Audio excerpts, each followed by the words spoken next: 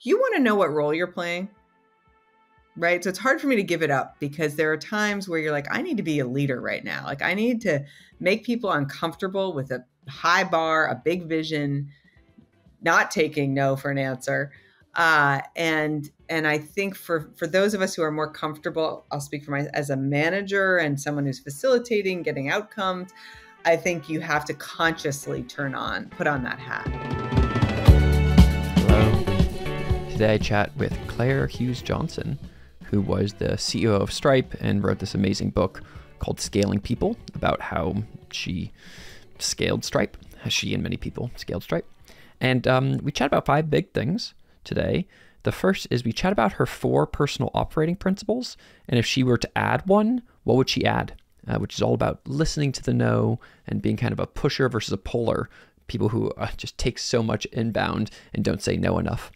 Uh, then we talk about the second thing we talk about is kind of viewing Stripe as an organism and what it was like for her to kind of get in there, start to feel the inbound demand, feel the flywheels occurring around them, and then the need to like actually grow the and build a massive company to kind of respond to those inbound demand and flywheels. Kind of makes me think of like a viral tweet that then you have all this attention. Um, it was like that, but instead the company is like becoming viral, and and what do you do when to to respond to that.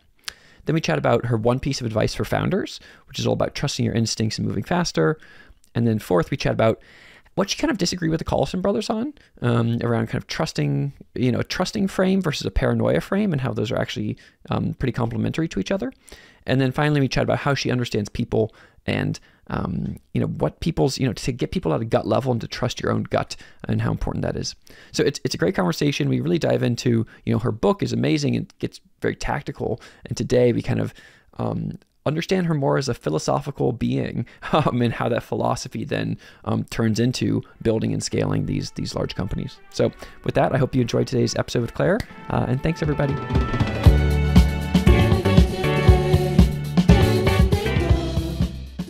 Reese's Pieces. I'm Rhys, the founder of Roote, and welcome to the Rhys Show. I believe the best way to predict the future is to build it. And so I'm interviewing pioneers on the frontier to understand what the world will look like and the secrets behind how they're building it. These are insights from the frontier. And today I'm excited to chat with Claire Hughes Johnson. In one decade, Claire helped Google scale from 2,000 to 50,000 employees. And then in the next decade, as the COO of Stripe, Claire helped them scale from 160 to 7,000 employees. And she wrote an excellent book on all of this called Scaling People Tactics for Management and Company Building. Claire, thanks for being on the show and welcome. Thank you for having me, Rhys. Yeah, excited to dive in. Yeah. And it's kind of um it's kind of like the theme of the uh, last couple episodes for me here has been like kind of just interviewing badass women and like and also interview so you count Are you rename guess, your podcast rhys interviews badass women you know hey, I actually think that could be a good direction. I like it. I agree. I agree. I agree. I think it. Um, but sometimes I don't interview badass women, so I kind of got to keep it wide and scope. Yeah, you, know? you want to be more inclusive of them. more, and this is just my current kick, you know. And so, um, but it is amazing for myself and you and the listener to kind of conceptualize, and also the goal here is that like you know the frontier becomes reality in this weird way um, and you know it becomes reality through people um, and so, you know, the internet we know today is one of Gmail and Stripe and whatever. Um, and so, but the, those don't just get created. They have to, there's an organization behind all that and an organism that like has many tens of thousands of people that produces that thing. So that's yeah. kind of what we're going to chat about. Um, and I also want to give one other macro framing, which is the book is um, amazing. It's this, you know, chock full of great tactics. It's kind of like, um, it made me think of like atomic habits, but for like company building, you know? Oh, or just like, you yeah. do all these things. You know? it, it is very tactical. It's very Just, uh, very tactical. I agree. Which is good which is good. Um, but i want to share these um uh, you know some of the folks on goodreads were like hey um I wanted to learn more from a person like you um, instead mm. of bread and butter stuff, more about strategic thinking, building succession, creatively growing others. And then this other person said, I wish that there had been more injection of Hughes Johnson's own insider philosophies. Um, and so, and personal stanzas, empirical, whatever. Um, and so that's kind of what we're going to dive into today is the more kind of um, gushy side. All right. All right. Good. Well, good, good to get feedback always. So thank you. and by the way, these are those those are people who still gave it four and five stars on Goodreads. It's still, you know. Well, hey, I guess they want more, but I I don't think I'm signing up for another book. But oh my but god, you you can get the more out of me, and then exactly. Then You're, here's your hour podcast. All right, exactly. Great. Um, so I want to start with the um with those two framings in mind. I can I, I just love to start with your four like you as a person and your mm-hmm. four operating principles. And I'm especially curious, like what would your so could you tell us and listeners what your four operating principles are, and then also what your fifth would be if you were to add a fifth one? Um, yeah, the four, and the first one is really, I think, my heaviest one, but is build self awareness to build mutual awareness. And then say the thing you think you cannot say, which became more of a hallmark, I think, for me later in my career. Uh, distinguish between management and leadership, which does get at to some philosophy that I have that may not be the same as others.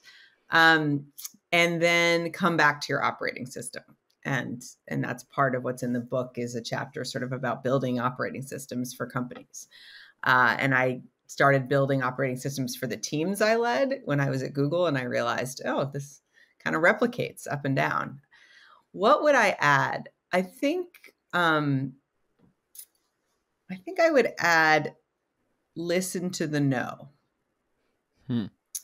uh, and there's a couple reasons behind that. One is I am I'm an extremely optimistic person and I'm also a person who really wants to help others. I'm a person who likes to be of service. And so I am optimistic about how much time I have and how fast I can do things and I am really terrible at saying no. because uh, when people ask for help, I feel like I want to be of service and I want to, you know, help. And um, in my working with Claire guide, I even acknowledge this, but I don't say that I've solved it because I haven't, which is that I say yes too much. And so I had um, I had a friend who uh, is a very I would just say spiritual person, someone who's really grounded and in touch with like inner spirit, for lack of a better word, very wise. And she said, "You need she said in your head there's going to be loud voices and there's going to be quiet voices. And you need to like pause and th- and listen. And listen you're going to hear the loud voice but listen to the when the quiet voice comes. And i think for me I, my loud voice is yes. I like really default to yes. Because i really i don't think it's fomo. Sometimes it's fomo but i really de- and so i've realized i need to like pause think about what what is being asked of me and you know and really in my inner inner core do i really think it's a no? And i need to say no so so that's that's been um a life that is not something i have yet conquered but i think i thank you for pushing me i need to add that listen for the no or i mean yeah, it's just always good to know i mean and i love the um I love the kind of internal family systems energy there of like these your mind is this combination of all these little people that are like, hey, hey Claire, don't forget like people want your help, go for it. You know, and that's like that person is there all the time. But there's right. actually this other person in there that's like, uh, Claire, I think you already have a lot on your plate. Um, you should probably right. say like, no. Yeah, who's like, hey, let's keep some energy for tomorrow. Yeah, yeah, yeah, yeah. Do you think that this um it makes me think of a the pusher puller dynamic um mm-hmm. that you wrote about in your book. Um do you want to kind of explain that dynamic and whether this is you saying that you're a uh, puller? Oh, definitely a puller. Uh the I I you know, I would say that some of the frameworks in the book are going to be familiar to readers. Uh you know, like the urgent uh versus important framework, things like that. And then the pusher and puller I I think I came up with, but I'm sure there's maybe some academic out there who will counter me, but which is idea for top talent that there's one version of top talent, and this is reductive, and I admit that. I just want to be clear. But there's one version of top talent who's more like an in your face, like give me the assignment, give me very outwardly and inwardly ambitious. And they often get very impatient with you, with their team. They want more, they want faster, they want better. Um, they often want to talk about compensation because they're keeping score, not because they're necessarily obsessed, but you know, comes off that way. And then the polar is more of the quietly, you're just like saying very competently, you say, Can you take this on for me? And they just like say, Oh, yes. And then they take it and they add it to some mountain, well, if, you know, that they're of this seemingly unending energy to take on these assignments and like quietly do them. But the puller often ends up also quietly suffering uh, and not delegating or not listening to the no. So yes, I definitely am a puller. And and I even I'll speak for myself, not all pullers. I even get in this mode that's a bit of a martyr thing, which I don't love. My I had a colleague point this out to me, um, which is I'm sort of resentful of the people around me for not taking on these assignments. Yet I have been the one who took them on and said yes. Uh, but then I sort of want to just like quit, you know, and like throw it down on the table and say, "Why didn't you help with the, you know, all hands or whatever?"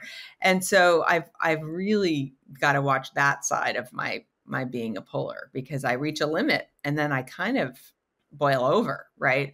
And I think that happens for pullers um, and for pushers in a different way.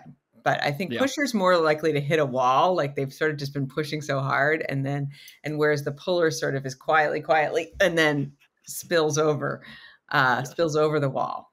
Uh, but yes, it is related. Yeah, so as a, as a puller yourself, it um, and it, it's funny because I think correct me if I'm wrong, but uh, but uh, you know, I'm thinking about like um, I was chatting with Mallun Yen recently and the Operator Collective, and it's just oh, like great. it's 90% of her um, LPs are women, which is amazing. And they're all these women who are just like they actually are like the, it's kind of like emotional the emotional labor of society and then there's this kind of like polar labor behind all of the like b- the ops behind all the businesses that exist in the world how gender do you think it is I like a percentage of pullers in my mind it was mm-hmm. like 75 25 kind of like women to men but i don't i don't know mm-hmm. do you have any instinct on that um i don't i mean i don't have data other than anecdotal data oh yeah the, mine's I've man- total I've, I've managed because I made up this framework Rhys recently. So maybe I'll do a study now. I should. Um, my data is anecdotal.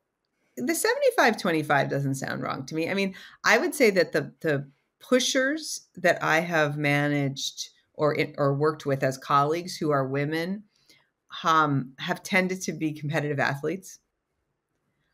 Um, and and I think whatever that is, some kind of correlation there uh, or causation. I don't know. Maybe the competitive athlete turned into the competitive employee, uh, but but I think they exist, and um, and I'm thinking of a couple people right now in the very front of my mind. Um, but but maybe not quite not 50 50 for sure. Yeah. Yeah. And oh, then yeah, on the and- pullers, I actually have worked with, I actually think the men who are pullers are even more quietly suffering. Mm. Um, and maybe that's because it's like not typical or it's not cool or there's something is something gendered in that. I don't know. But some of the, I mean, I work on a lot of operations teams, like support teams, really detailed, deep process, deep analytical. They're loading you up. And the men I've worked with in those kinds of orgs are real pullers, the, the top talent. And they never complain. Whereas I was explaining to you, I ha- I sometimes hit a wall. I just like start exploding with complaint, and um, I think um, that there's something maybe badly gendered about that, where um, I think we, we're working on well, different cultures are working on this differently. But a lot of my conversation with my husband about raising a son is making sure he understands it's okay to be emotional.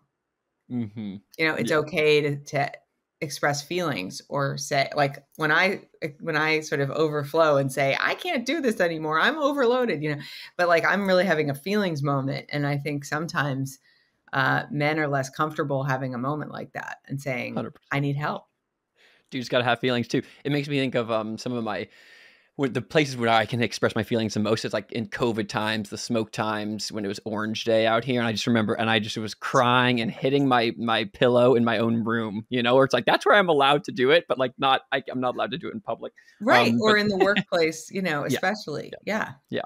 I mean, um, so I, I love that. So schools are built well for boys. Like, there's a lot of stuff that gets programmed in because I worry sometimes when we talk about things being gendered, we're judging things. It's a good or a bad thing, and I think it's sort of just a thing Oh, and yeah. we really have to study why it happens and how much of it is some natural predisposition versus just some programming. Yeah. Yeah, totally. Yeah, it's, yeah, it's some weird combination of both. But but TLDR, um, listen to the no. Um, it reminds me think it makes me think of I just wrote this piece on you are allowed, you have permission, you know, to tell yourself you have permission to say no, etc. Yes. Um, so that's great. And then if you were to take one away, which of the three would you take away, or which of the four? Sorry, would you take away? Oh gosh, you're really. I don't, well, I don't. I guess I would. Oh gosh, I'm really struggling. I I think um, it depends on the context. I nice. think that distinguish between management and leadership is um, more of a way of me expressing a philosophy than it is something I do constantly. Um, right. If that, you know, so it's, it's a little bit less of an operating principle and more of a principle principle. Like I'm, I can operate without that principle. Um, but I do think there are moments, and I'm sure your listeners could relate, where you want to know what role you're playing. Right. So it's hard for me to give it up because there are times where you're like, I need to be a leader right now. Like I need to make people uncomfortable with a high bar, a big vision, not taking no for an answer. Uh, and and I think for for those of us who are more comfortable, I'll speak for my as a manager and someone who's facilitating, getting outcomes. I think you have to consciously turn on, put on that hat. So I'd have trouble, but I'll give it up if I have to. I will. Okay, you're forced to now. You've given it up. You've given up uh, leader management, and you now have listened to the no, no, no, no, no. You you have your own pers- principles. I love and- your editing process, Rhys. No, you know what I like is it's very much about a self assessment by me, and then you're just yeah. playing back to me, which I appreciate. I just all I do is replay the tape. Um, the um, so let's go to back to a higher level though. So you as a person, these amazing operating principles. And by the way, for listeners, having operating principles is great. Having how to work with me manual is great. Uh, Claire has that too, and that's worth just googling like um, how to work with Claire. Um, on the organizational side, let's talk about Google and Stripe and, and startups. Um, so I kind of want to start at a high level with scaling Stripe. Yeah. Um, how do you conceptualize? So, so we have this organism um, that brings payments infrastructure into reality. This organism has a mission, it has a business model, has people, it has teams, um, and that thing is creating value for the world and capturing some of it. How do you kind of like conceptualize of that organism and its growth into the world? Yeah, I mean, I think that it was helpful to be at Google, not as an executive, but as someone sort of rising through the ranks watching Google go from about 1,800, as you said, to over 50,000 people. Um, and yeah, it doesn't just materialize. Like you have to put in the work, and there's people doing a lot of intentional things. And then there's just flywheels that are happening that you're responding to that create, you realize, oh, I need 10 more bodies because the flywheel just got bigger, you know? And I think that um, having experienced that coming into Stripe, it was easier for me to see the forces that were already, you know, it was 160 people, but the inbound, I mean, I'm going to be very specific here, like the inbound demand from customers, we had to turn off the contact sales link in my first week, which was not a decision you want to be making. Um, but it was worse because you could we couldn't get back to customer you couldn't get back to a prospect who wanted to use the product. So it's better to like not disappoint them was the call. And then it was like let's get organized so we can but you know looking at that inbound demand looking at the support demand too by the way the product you know always needs work. And then um, thinking about the functions that need to exist to support a company that's increasingly in a regulated space which is you know payments. You know, if you really want to do interesting creative things, you need to be under regimes, both from your partners, like the credit card, you know, companies, but also financial partners, but and banks, but also uh, governments increasingly. So, but that requires other functions and abilities because you have to, you know, in fact, be ready for someone. The thing, one of my favorite things at Stripe is we have conference rooms designated as rooms that if some a regulator shows up, this is their workspace, they can show up unannounced to audit us. And we have an available space, but it is also separated because we're trying to do our job. We're like, you can sit in this conference room on the first floor and do your whatever you need. Anyway, but um, so when I came into Stripe, it felt less unknown and not maybe not as intimidating it felt like a big jobs to be done assessment. And I just looked at, I mean, I just took an audit and I, I got some smart person who was sort of working in finance, barely analytics kind of person. And I said, let's do a bottoms up, tops down assessment of how big we should be. Uh, and that, and, and look at the data, just say, you know, what, what do teams think they need? What do we see in the data that they need? Uh, what is the trajectory of the revenue, of the customer base growth? And the company was a lot smaller than it should have been. and then you have to sort of get everyone psychologically their head around that, which is this really amazing, hardworking, very talented group of individuals and founders who really like, love each other and are like, isn't this great? We're a couple hundred people and it's so fun. And I was like, but, but also you're burning out. You're like, yes, fun, but, uh, and we are missing this f- entire function, for example, or we need, um, to start, you know, if we want to build another product, we can't do it with the people we have. Um, or another country at another country. So it's sort of you get in this. So many founders say to me, "I want to be really intentional about you know how I grow," and and I salute that. But I will tell you, it's suddenly a bit of a tornado. And are is are you going to intentionally then choose not to grow when every fiber around you is like grow, grow, grow? And some choose to, but you know, you want to, you have a mission, you built a product to get used. You're going to end up needing to to do it and you're going to do it faster than you if you if you've got that kind of a good problem to have you're going to end up doing faster than you expected yeah i love um, that i think it makes me think of um it also makes me think of kids and how people I don't have kids, but you know, I'm 31 oh, yes, and a bunch of my friends so are starting to have kids.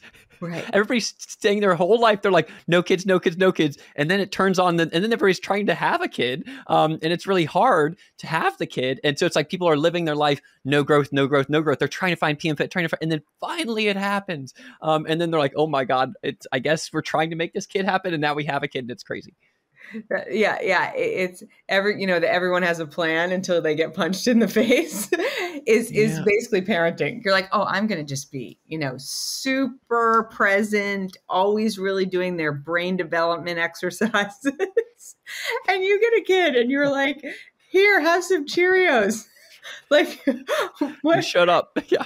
shut up and have some cheerios you know it, it, it it's totally reality smacks you right in the face uh, yeah. as a parent yeah. That's funny. I guess yeah there's two ways in which it's similar. One is in the way in which yeah reality once you have the kid reality smacks you in the face and um it's like oh my god you're just trying to you're not you're not playing picasso or whatever or playing yeah. mozart. Um and then the other piece and the thing that i was kind of saying was that there's a it's just a funny thing where it's like so you know um humans their lives can be defined as no kids, no kids, birth control, condoms, etc. And then you're like, okay, now you're with your partner, you want to have stuff, and then you're like, okay, now let's turn it on. Let's like actually try to make this baby, and it, and then it can be hard and blah blah blah, and you have to do yeah. IVF and all stuff.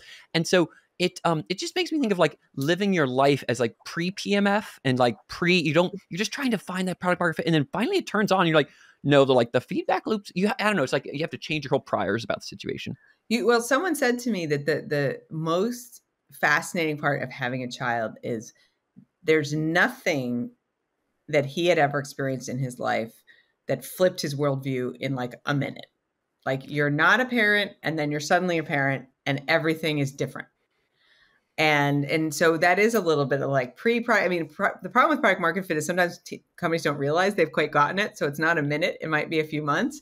But I think that that that worldview flip of and really what my book is a lot about rhys is it's one thing to go and get that pmf and get traction and start to operate with that traction but all of a sudden you turn around and then you've got to build a company. And that's a very different some similar skills to product development but some not. And i think talk about smacking you in the face. You've just done all this work to get to a point that you've built something that people want and they're even maybe paying for and it's it's flying off the shelf and then you're looking around and it's like a tire fire behind you and you're like I have to now build a company and I didn't even plan to do that. Uh, it's it's I think it's a really probably a very isolating experience because everyone is celebrating and you're probably just faced with another mountain. totally nothing but mountains so let's, let's talk about that for a second which is i think uh, correct me if i'm wrong but you're you are now in an advisor role with stripe and mm-hmm. just a coo yeah. energy and so you're helping various founders and companies kind of do to scale and, and, yeah. and so what um what is like the one thing that most of them are doing wrong or like what um, piece of yeah what are they doing wrong you know i think that I'm going to say this carefully, Rhys, but nice. if there's a continuum of a founder who is um, really very sure of themselves and a little bit in the worldview, like I'm the founder and I have to know the answer and I'm going to say this is the way, like the Mandalorian founder. And then on the other end of the continuum are people who are constantly wondering, th- thinking, I really want to be intentional. I want to be thoughtful. I want to listen. I want to call others for advice. I don't want to judge quickly. I don't want to declare this is the way too soon, too quickly, right? If that's a continuum, so the more of the the the the, the thoughtful introvert versus the sort of this is the way extrovert possibly um, most of the founders I work with are on the thoughtful introvert side. And that may not be an accident uh, because I don't love a dynamic because I'm a learner. I'm like, there's so many things we just don't know. And I worry about the founders who, who are too definitive about what they want and what they think needs to happen and the way things are going to run. Though I've certainly seen some be quite successful because they really have a vision. I mean, I think you could say Steve Jobs had elements of this where they're like, this is the way it's going to be and I don't care if you don't like it. Uh, and I'm going to be pretty hard on you until you do it the way I want you to do it, right? But that's not my vibe. So I tend so when you ask me what are founders, so so that's my preface to saying what are founders uh, struggling with? The more thoughtful, potentially slightly more introverted, but really it's more that they're they're learning and thinking and really trying to do the right thing. Are um, often have good instincts and they're not confident enough in those instincts and they end up sort of overthinking or or cycling right? And that can be thrashy for an organization. But it's i mean it's easy for me to say this after 30 years of working to say like i recognize patterns. I'm pretty confident when i see a certain talent issue. I'm pretty confident when i see that a team isn't operating well. Um, and then we're talking about someone who may be, you know, pretty early in their life, let alone their career.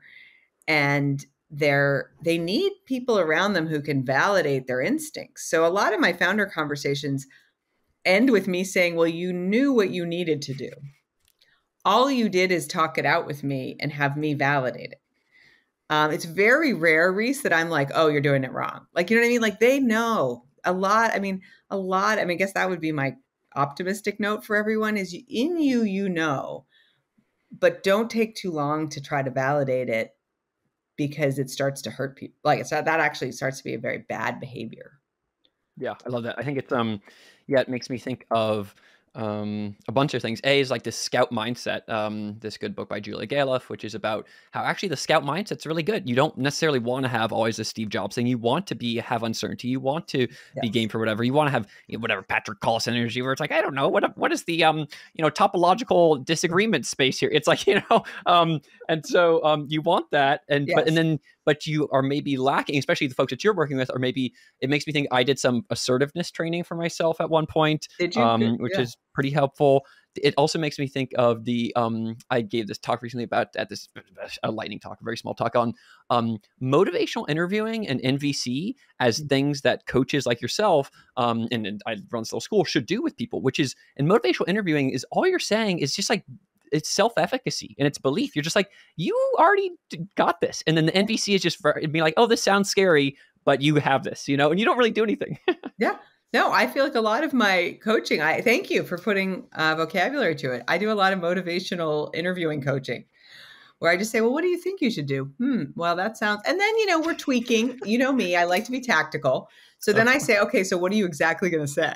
Like when you got to hmm. do this hard thing that you realize you have to do, uh, the other thing I find myself doing is decoupling decisions. People tend to mm-hmm. combine, like they're making assumptions. Um, this isn't so much of a fa- well, this is a founder who's making a decision, and I found that he was combining a decision about his company direction with kind of a hiring decision. Let's say, and and it, I was like, well, you're making a big assumption about your company direction, which is and I think trying to convince yourself that this is the right hire.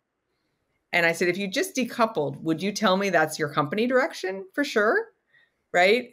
Or were, did you get so entranced by this candidate that you're, and, and that I think helped you know you just get you get a little bit emotionally attached sometimes to a direction you're headed either with a candidate or a product idea and you need to sort of say well actually i'm making one decision and then another one uh, and if i make them together i might make a different set of decisions than i intended to Yep, yep, I love that. I think, and so if you're a founder listening to this, um, you can just have Claire on your shoulder saying, uh, I believe in you and you're doing the right thing, but act, but you got to kind of move quickly and make decision and like be more assertive here. Uh, yeah, so, you got to be more confident. You got to be more confident. Be more confident.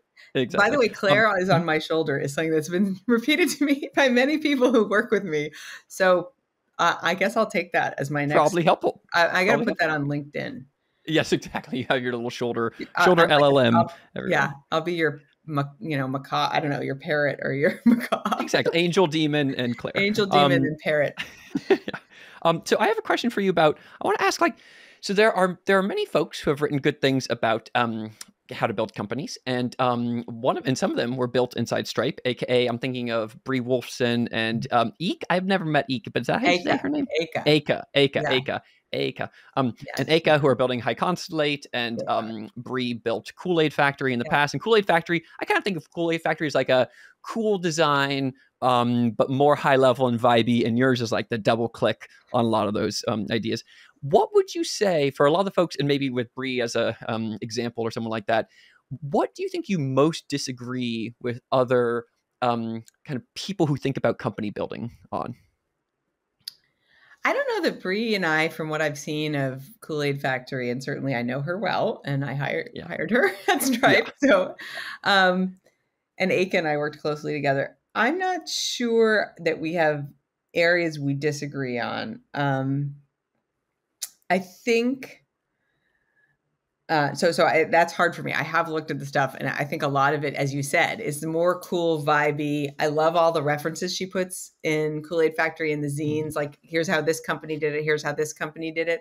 Which I why I love that is it's easy to sort of conceptually describe a thing, but then you're like, how do I? that's why scaling people. You're right. Is a click into me conceptually describing things and then showing examples just from my life you know and i think there are other examples.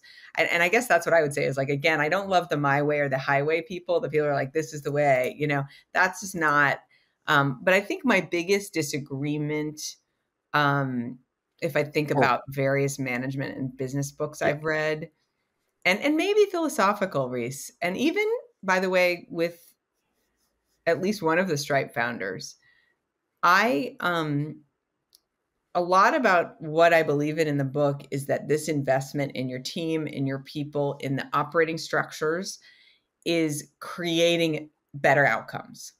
But a lot of these are inputs, right? Uh, and the outcomes are much later.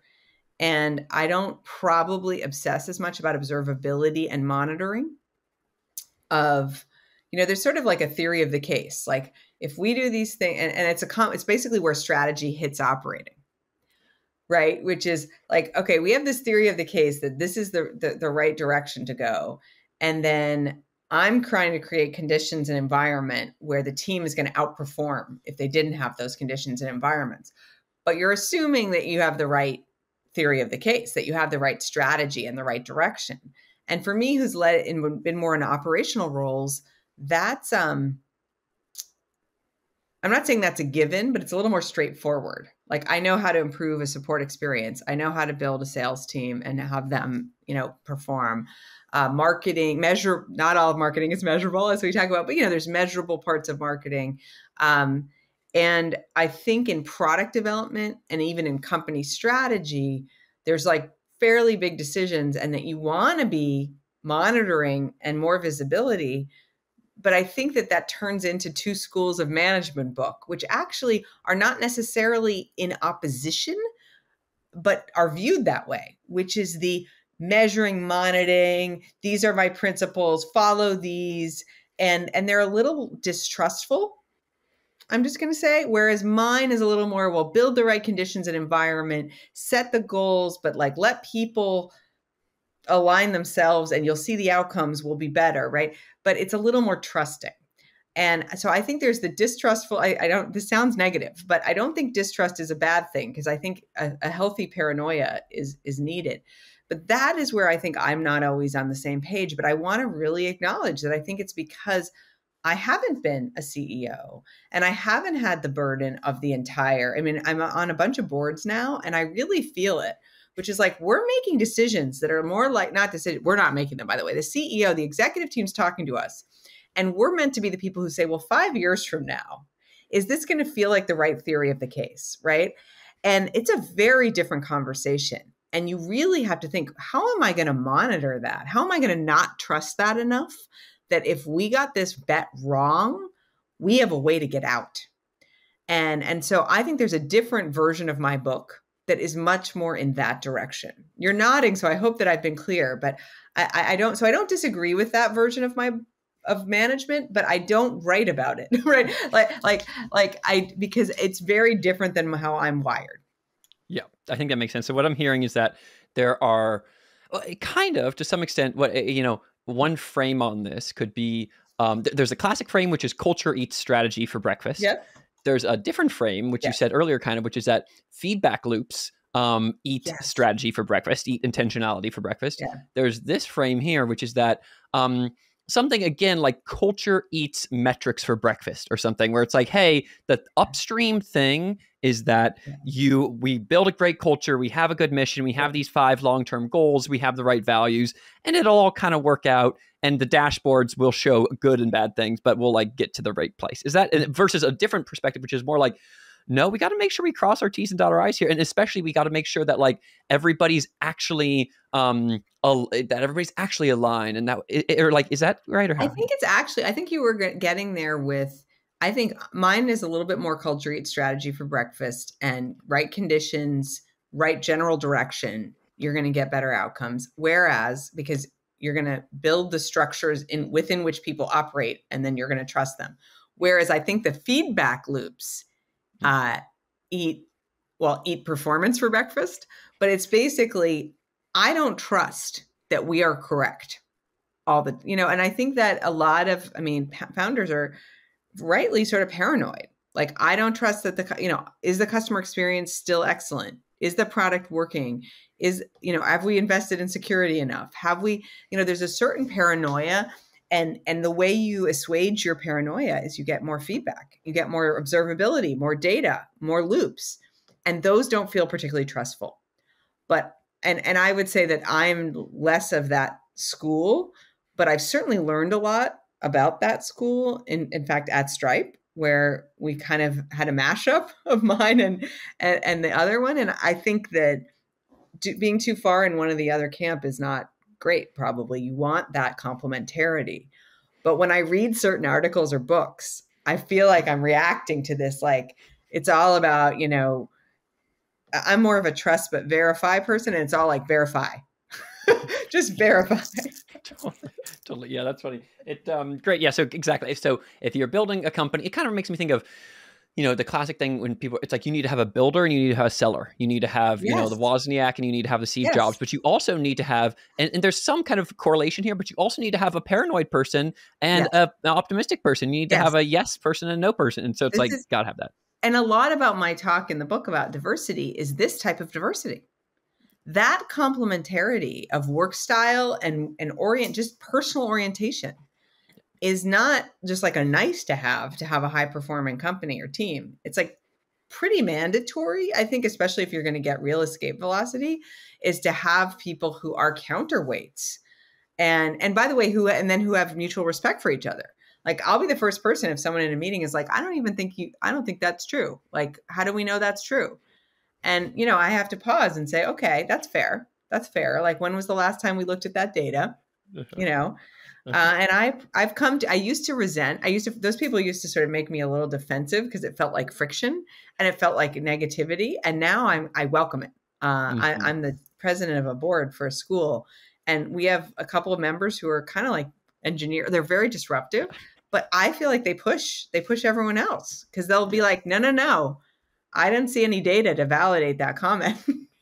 totally, totally, totally. And you're like, come on, can't we just trust each other here? Yeah, um, right. um, cool. So that that all makes sense. And I want to transition now to so we chat about you as a person. We know your four plus or minus one um, operating principles. Then there's the organizations, these um, entities that are existing in an uh, pre-growth, post-growth, pre-PMF, post-PMF environment, and who need to be in general need to be more assertive, more kind of yeah. forthcoming, um, and and because the feedback loops are around them, they need to just kind of like um, they trust their instincts and go. And and so now what I want to do is I want to chat about your understandings of people. Um, and I think by the way, trust about- your instincts and go, but also put foundations. Put I feel like I want to hold up my book. Remember, you need to start putting structure in place as you go. but anyway. No, no, totally, totally. Yeah, yeah. That uh, just a pure vibe play of like, yo, y'all, we gotta do this thing. No, no, no, no, no, no, no, no, no. All the you need to have the house. You know, you need to have yeah, the full you need to foundation. Start investing in the team and the structures as you yeah. as you start going because you are gonna grow.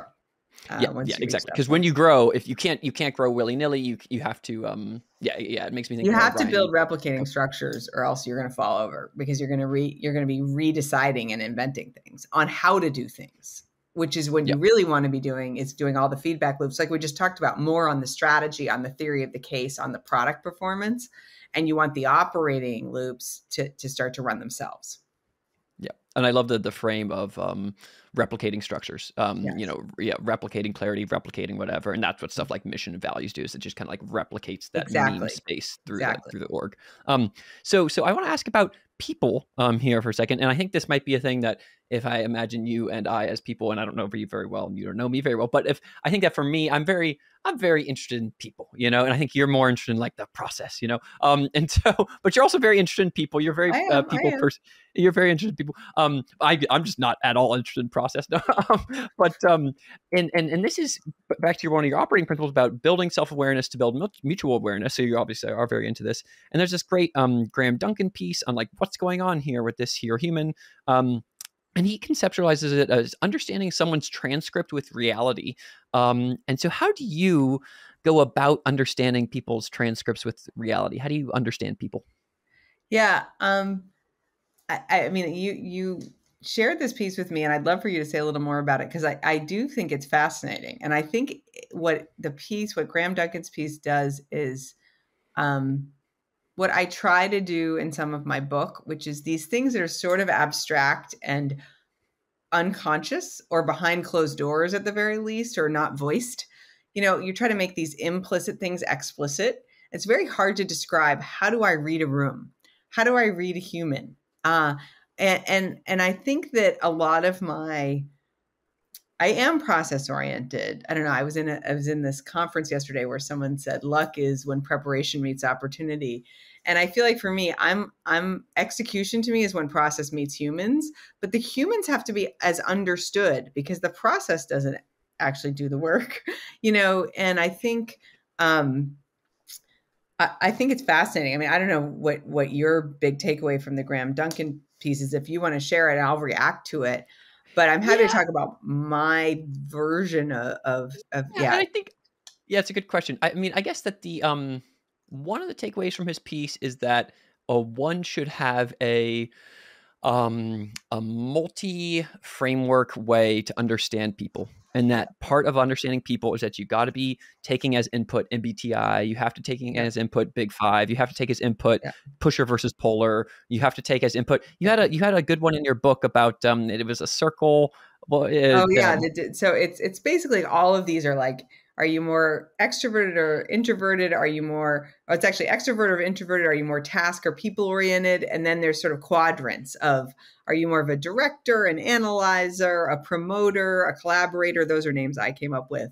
But yes, that is a to- that is a framework. It's a framework, and you're right. It's not the whole ball game. It's it's more of a work style orientation framework. Do you yeah, tend to be or- oriented to, toward you know extroversion, which usually involves a, and, and people orientation, which creates someone who's very good at getting people together and moving, like sales leaders, right? Yes, that is one framework. So the idea is there's these multi-level frameworks, and then you're you're sort of taking the humans and putting them through your frameworks. Exactly. Yes. Exactly. And that's and that's one of the key. Go. Yeah. The thing that I fa- that I think that is true, and I think that I probably have more frameworks now than I certainly did in my early life and career.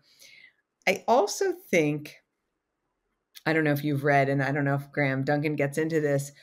There, we are animals, right? There is something animalistic in in intuition and instinct about other animals, and so I think the challenge of a lot of these frameworks is it's hard to create a framework for why does your hair stand on end, like, or why do you suddenly not feel like you trust someone? Uh, and unfortunately, sometimes that's very biased you don't trust someone because you're full of bias that is incorrect. But sometimes you don't trust someone because you are under threat. And I think that is, I, I, I read about a study that is, I'm to like butcher the description of this, but it was essentially um, this research experiment where they were flipping, and this is just like that your body knows something before your brain knows it. They were flipping cards uh, and basically, anytime there was a red card, there was a little shock to the person. And then they were measuring their body, uh, like their temperature, their heart rate, uh, and maybe even their like adrenaline. Anyway, and the point is, before the brain knew there was a red card, the body was reacting. Was what they figured out. And I really think that we often know something in our body before we intellectually understand it.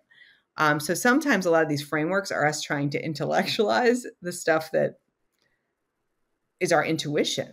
Uh, and that's why it's hard to talk about, you know, how do I know if this is, is a good hire?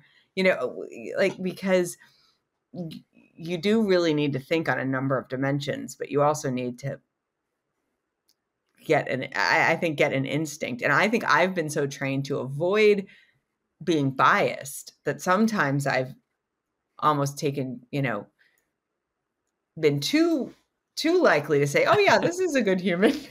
totally. Uh, that is it is funny when when someone so so yeah, kind of like a body keeps the score framework or like yeah. a intuition gut first, and I think that that is a really smart. I learned yeah again the thing I've learned in my life is yeah just you got to trust your gut. Like in the end, you could it's good to try to understand people and to have shared languages for understanding people. But like in the end, if you're like okay, even though this person was like scored a 92 out of 100 on the rubric or whatever, like I'm just not feeling it, and that's okay, you know, and that's yeah. that's totally you maybe yeah. you should marry that person. Um, so I want to as we get into rep as we get into um uh, uh wrap up mode here, I want to ask um two final questions. One is, um, yeah, what advice um, do you have for ambitious young people? Um, what advice do I have for ambitious young people? You know, it actually goes back to my founder advice. Like, I think that um, when you're younger, it is extremely tempting and normal to be caught up in the zeitgeist. What is the best school? What is the best job to get out of school? Like every it seems like because i do work with a lot of younger people like whatever the hot career like there's a new hotness every few years like it's product management it's vc it used to be consulting and banking when i was in college that you know and, and sometimes for some people that's still and i think that it is very easy to be caught up in a group think of your social circle um, and even your parental circle, you know. And what I, I can't emphasize enough is, I mean, it was really self actualization, which is you have confidence in who you are, really focus on what you know about yourself. It is not what other people want. What, you know, your passions are not other people's passions. Your interests are not other people. Your skills are very different than the other people. And isn't it weird that you all want the same job? but no like you know eh, just just for a second just go back to first principles right? If you took a group of 50 people would it make sense that they would all have this want the same and do well in the same job? No. You intellectually know that. Yet you end up thinking you want that thing by the way the other that, that thing could also be i want to live in the suburbs or i want you know like really know thyself and I think the earlier you start keeping a record for yourself of what do I know? What gives me energy? Uh, what am I inter- what am I curious about? What am I interested in? When am I happiest? When am I not happy? Like liter- like just a self record of um and I mean I think the best thing I did in my early life was not do what everyone else was doing.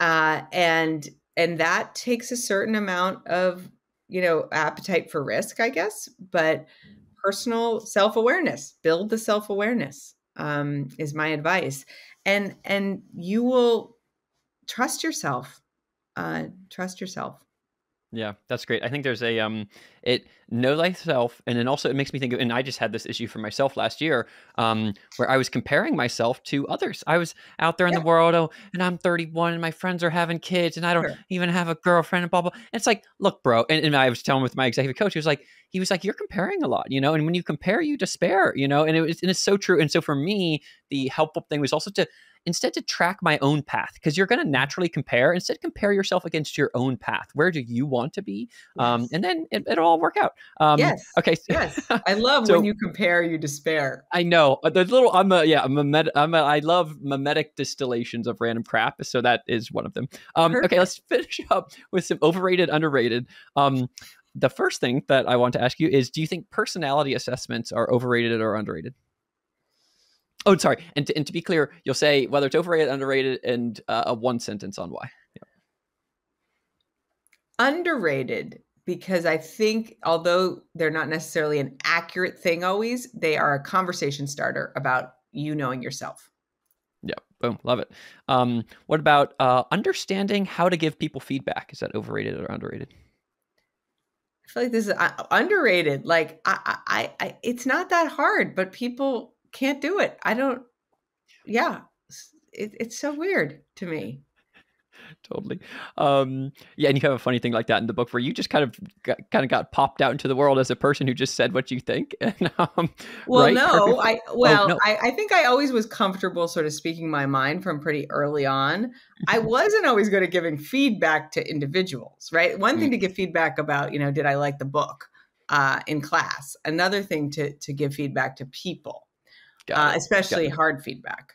That yes. I really had to practice, and I had to fall on my face a few times.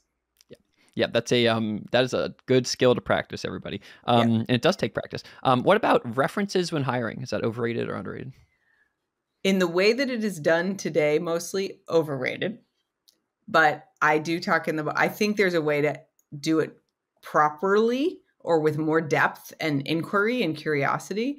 But you have to stop making it a rubber stamp like if you've already basically made the job offer and you do a reference, like that's not a real reference. Yep, love it. Um, and, and one other side note about the Graham Duncan piece is he talks about the real power becomes when he can just take his perspective on someone um, from a hiring perspective against and treat him as at a table against all those other people. So that's yes. um, the most yeah. positive form of it, perhaps. Um, what about uh, keeping a high bar for hiring? Is that overrated or underrated? Underrated. Um, if there's any mistakes I've made in my career, it's because I let my bar slip. Yep, yep. That is kind of the funny. It's like you can either, if you want to make a great organization, you could either read Claire's book, it's 600 pages, it's got all this great information, blah blah blah, or you could just like only hire like really, really, really, really, really good people. Rhys, I don't know about your marketing campaign. By the way, it's not quite 500 pages. I, I actually think, though, you've seen this. You can have a team of all stars who loses. Yeah. So I actually think you have to hire great people and no totally execution is is is as you said execution is process and people and so and you also you need to know how to hire the good people so there's you all kinds of stuff organize all that great talent but yeah, believe yeah, me yeah. everything is a thousand times easier if you have great talent yeah yeah or more than a thousand uh, beautiful. Um, well, um, with that, we are at time. Thank you so much for coming on today, Claire. And for folks who are listening, um, A, definitely check out the book. It really is yeah, I think atomic habits for organization building is a way to think about it. Um, if you just Google scaling people um, or press.stripe.com slash scaling hyphen people. Um, also, if you want to check out Claire online, she's on Twitter at C Hughes Johnson um, on Twitter. Uh, yeah, Claire, do you want to say anything else to my the listeners today? No, I really thank you, Rhys, for this very stimulating conversation. And for everyone on the frontier, you are probably those people who know thyself so good job. You're starting in the right place. Start in the right place. And once you experience PM Fit, um, hit up Claire or before, really anytime. Um,